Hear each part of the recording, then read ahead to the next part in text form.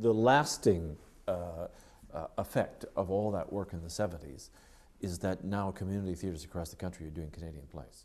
Yeah, I would say that's, and also You know, when the, the Guelph regional, Theater does, I would say that the regional theaters uh, ignore completely uh, Canadian work at their peril, whereas it was standard fare. The, like the regional theaters' argument used to be that they could not do a Canadian play because they couldn't take the box office risk.